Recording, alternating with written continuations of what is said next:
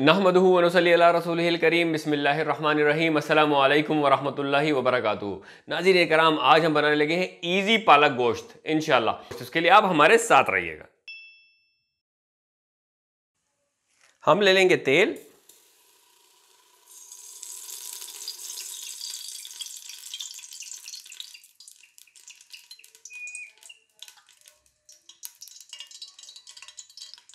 اس میں ہم شامل کر لیں گے۔ پیاز اور ان پیازوں کو ہم کر لیں گے ہلکا گلابی۔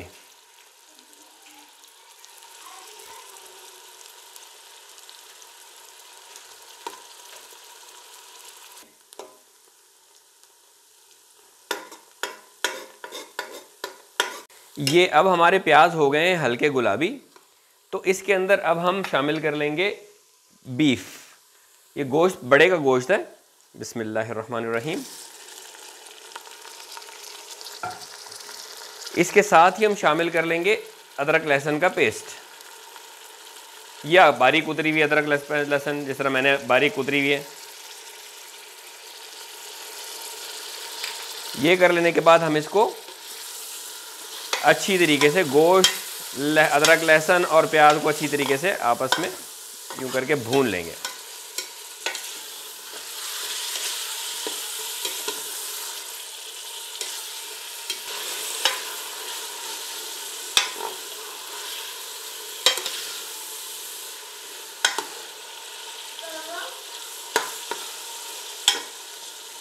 جی بیٹا۔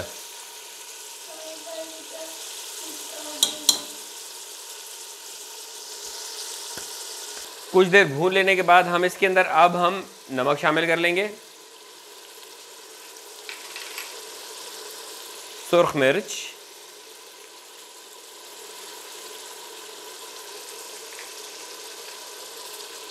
ہلدی۔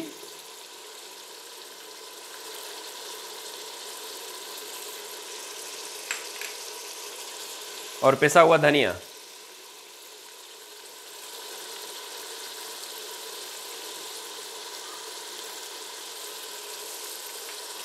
یہ سب شامل کر لینے کے بعد ہم پھر ان مسالوں کے ساتھ بھی اس کو کچھ دیر بھونیں گے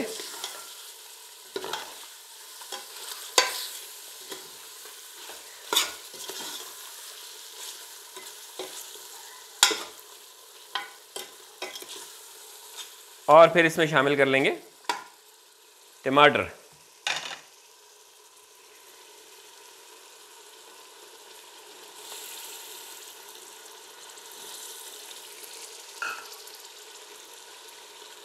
اب ان سب کو اچھی طریقے سے بھون لیں گے۔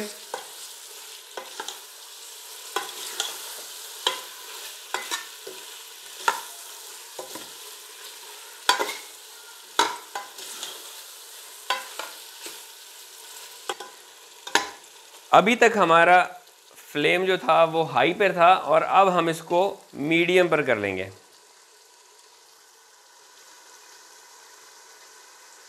فلیم کو میڈیم پہ کرنے کا مقصد یہ ہے کہ مسالے جل نہ جائیں اور جب یہ تھوڑی دیر اور اس طرح سے میڈیم فلیم پر بھنے گا تو اس کے بعد ہم اس کے اندر پالک شامل کریں گے۔ اب جبکہ یہ بھن چکا ہے اور ٹماٹر بھی نرم ہو چکے ہیں تو اب اس کے اندر ہم پالک اور میتھی شامل کر لیں گے۔ یہ پالک جو ہم اس کے اندر شامل کر رہے ہیں، یہ پالک ہم نے باریک کتری ہوئی ہے اور یہ ہم نے سارا پالک اور ساری میتھی شامل نہیں کی ہے، بلکہ ہم نے کچھ کچھ شامل کی ہے اور اس کے بتا کے ہم اس کو آسانی سے ہلا سکیں۔ اب جبکہ ہم نے اس کو شامل کرنے کے بعد ہلا لیا ہے، تو ہم باقی کا پالک اور میتھی بھی اب اس میں شامل کر لیں گے۔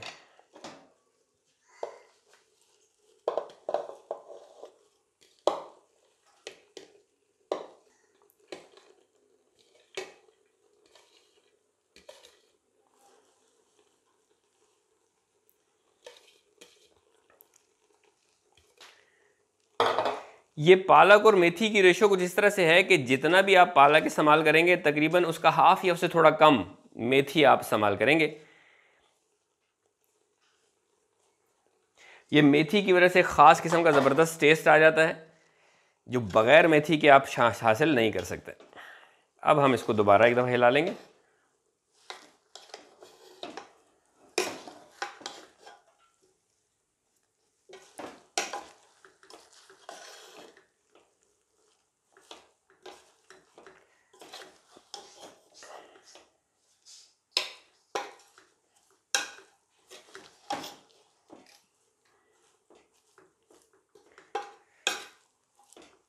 اس کو اس طرح سے ہلا لینے کے بعد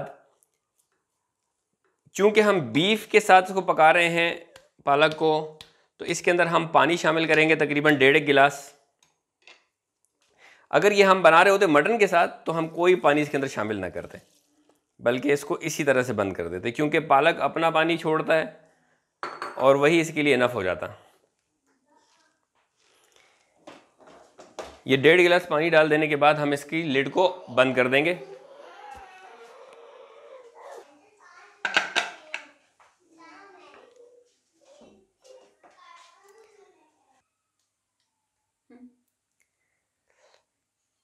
اب اس کو ہم دیں گے آدھے گھنٹے کا پریشر، اور جب تک کہ یہ آدھے گھنٹے کا پریشر مکمل ہوتا ہے، آپ سنیے ہماری اچھی بات۔ رسول اللہ صلی اللہ علیہ وسلم نے فرمایا، تم میں سے کوئی آدمی اپنے بھائی کی طرف اسلحہ کے ساتھ اشارہ نہ کرے، کیونکہ تم میں سے کوئی نہیں جانتا کہ شاید کہ شیطان اس کے ہاتھ سے اسلحہ چلوا دے اور پھر وہ دوزخ کے گڑھے میں جا گرے۔ یہ ہم آدھے گھنٹے کا پریشر دے چکے ہیں، چولہا میں نے بند کر دیا ہے۔ اور میں اس کو اسی طرح چھوڑ دوں گا جب تک کہ تھوڑا اس کا پریشر ریلیز نہیں ہو جاتا۔ جب اس کا پریشر ریلیز ہو جائے گا، میں اس کا ویٹ نہیں اٹھا رہا۔ اس کا ویٹ میں اس وقت اٹھاؤں گا جب یہ تھوڑا اس کا پریشر ریلیز ہو چکا ہوگا۔ تو اب جبکہ اس کا پریشر ریلیز ہو چکا ہے، میں اس کا ویٹ ہٹا رہا ہوں۔ اور بسم اللہ الرحمن الرحیم، اس کی لیڈ اوپن کر رہا ہوں۔ ماشاء اللہ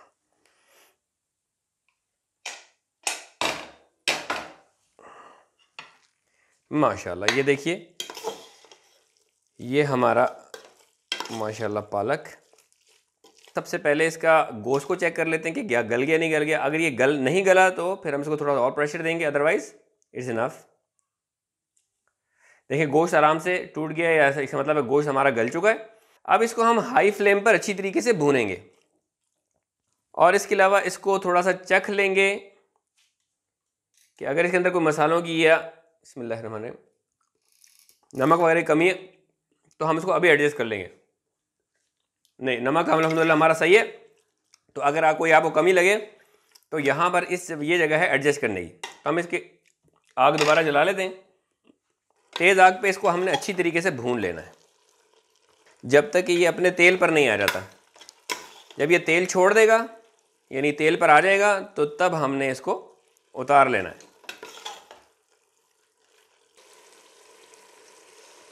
یہ اب کافی حد تک بھن چکا ہے۔ اس کے اندر ہلکا ہلکا سا پانی باقی ہے جو میں رکھنا چاہتا ہوں، کیونکہ مجھے تھوڑا تھوڑا سا اس کے اندر تری پسند ہے اور ہمارے گھر والوں کو بھی اس کی پسند ہے۔ ایک بات اور جو یہ ہے کہ میں نے اس کو پکایا ہے پالک کو اور میتھی کو کتر کے۔ لوگ اس کو گرائنڈ کر لیتے ہیں۔ یہ گرائنڈ کیا ہوا جو ہے وہ میرے، مجھے نہیں اچھا لگتا۔ یہی وجہ ہے کہ میں اس کو گرائنڈ نہیں کرتا۔ آپ بھی اس طرح پکا کے دیکھیں، اگر آپ ایسے ہی پکاتے ہیں تو یقیناً آپ کو پتا ہوگا ایسا کیسا ٹیسٹ ہوتا ہے۔ اور اگر آپ ایسے ہی پکا کے دیکھیں گے انشاءاللہ جو نہیں بھی پکاتے، تو ان کو پتہ چلے گا اس طرح بہت ہی زبردست ٹیسٹ آتا ہے۔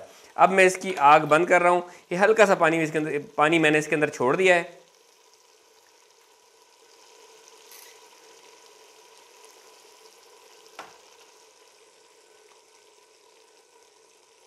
الحمدللہ، یہ ہمارا پالا گوشت اب پک کے تیار ہو گیا ہے۔ اب اس کو ہم ڈش آؤٹ کرتے ہیں۔ بسم اللہ الرحمن الرحیم۔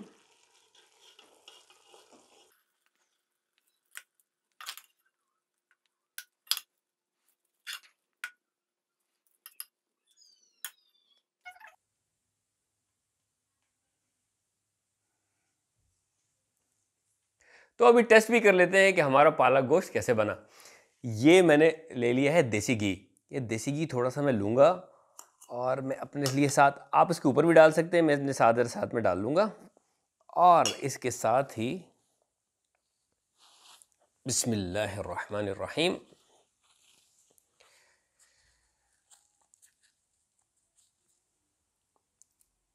تھوڑا سا گھی کے ساتھ ٹچ دوں گا۔ ویسے اس کے اوپر اگر ڈالیں تو اسی کے اندر ہی پگل جائے گا، ذائقہ آ جائے گا اس میں۔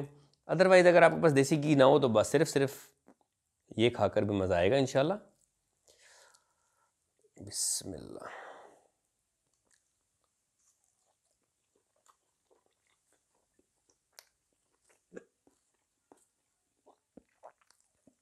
فینٹاسٹک ٹیسٹ ہے۔